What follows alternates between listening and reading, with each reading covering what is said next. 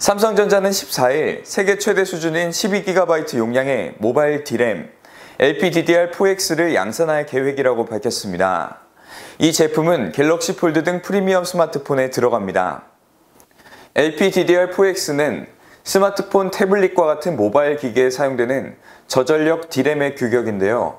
모바일 D램은 모바일 기기의 두뇌인 어플리케이션 프로세서의 연산에 도우며 처리 속도와 용량이 커질수록 더 빠르고 다양한 멀티태스킹이 가능합니다.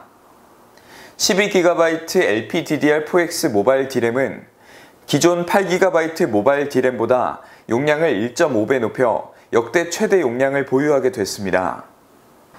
12GB LPDDR4X 모바일 D램은 삼성전자가 다음 달 출시하는 갤럭시 폴드와 갤럭시 S10 5G 등 플래그십 모델에 들어갈 것으로 보입니다.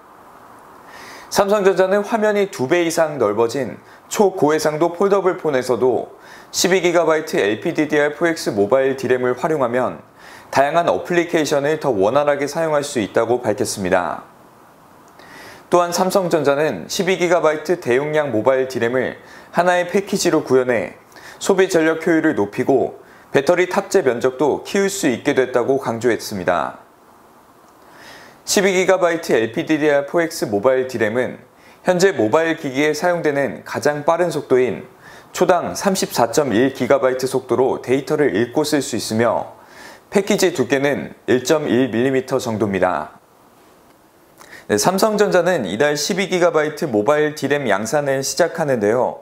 하반기에는 8GB 이상 고용량 모바일 D램 라인업의 공급 물량을 3배 이상 확대해 고객들의 프리미엄 메모리 수요 증가에 적극 대응할 계획입니다.